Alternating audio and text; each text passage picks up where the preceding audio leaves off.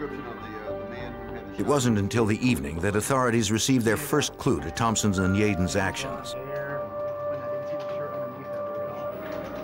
A local paramedic contacted Talladega City Police and told them about his ordeal.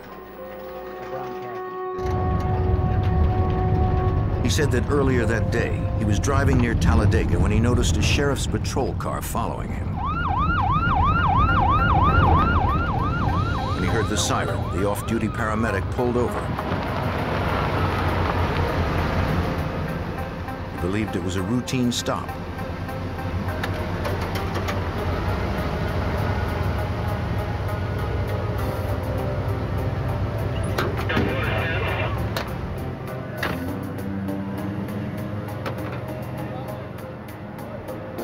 The officer asked for his license and wallet.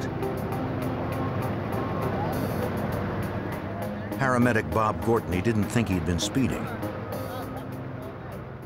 So the reason we pulled you over is your vehicle fits the description of a vehicle that was involved in a hit and run.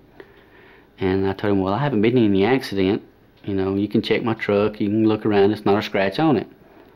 And he said, well, your truck fits the description that we've gotten, so we're going to, uh, you know, check it out. Gortney didn't suspect anything. No flags went off when he first walked up to me because he was in full uniform, had the badge and the name tag, and I really didn't make contact with the whole uniform. I seen the gun when he had his hand on it. Gortney gave the deputy his paramedic badge number, asking him to call in to verify his identity. But the deputy refused. Following the deputy's orders, the paramedic got into the patrol car. He believed it was simply a misunderstanding and that he would be released shortly. He said, well, we're going to carry you back over here to the accident scene. And I said, well, that's fine, you know. My truck doesn't fit the description, we'll just get this cleared up. He first realized something was wrong when a man in civilian clothes carrying a shotgun ran from the patrol car to his truck. Okay, let's start with the man approaching.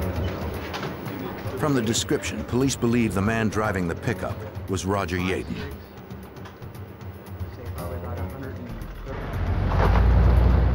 They believe Michael Thompson was the one dressed as the deputy. Thompson followed the pickup with the paramedic locked in the back. What the deal is, you can have the truck. Gortney asked for an explanation. Wife kids. Keep it quiet. He said, we're just going to take your truck. And I knew right then it was a kidnapping. These guys just kidnapped me. So I went into the pleading mode, you know. I told him, I said, look, you know, I'm only 30 years old. I've got a wife and kids, and you have my truck, you have my gun. Um, there's no sense in killing me. Michael Thompson followed behind to an isolated spot off the highway.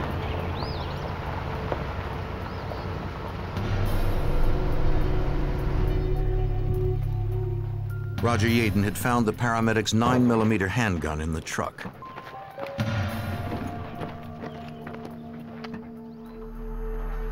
Bob Gortney was helpless in the patrol car's locked back seat. What up? Hi, man. The men forced him inside the cruiser's trunk. The kidnapped paramedic believed they were going to kill him. I was laying there at the point, so if they shot through the trunk, I knew they would miss me. You know, if a bullet was to come through, maybe it would graze me and not hit any vital organs, so I was trying to protect myself from the point of being shot through the trunk. And I could hear vehicles pass by, and then I heard my truck crank, and then I heard it sped off, and it was hot. I felt like I was suffocating. I kept thinking to myself, you need to slow down, because if you don't, you're going to use up all your energy, and plus it's hot in here, I'm going to dehydrate, and I'm probably going to pass out. I was scared. I was shaking, and I was laying in the trunk, and I got to thinking, okay, you're a paramedic. You've extricated people a thousand times.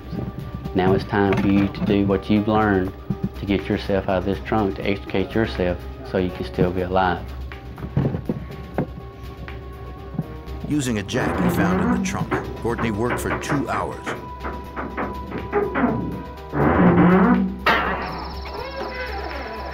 Finally, he popped the trunk open.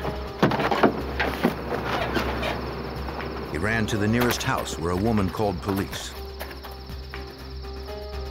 And if just sit there for a minute, enjoy your coffee, and try to warm up, I'll be right with you. okay? An updated bulletin was issued for the pair of fugitives in the black pickup truck they were now driving.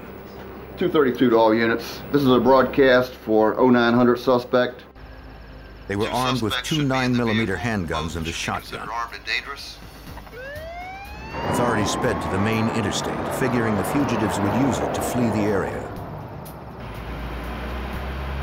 With a stolen truck full of gas and interstate highways nearby, law officers knew that Michael Thompson and Roger Yaden had a big lead on them. They could be anywhere,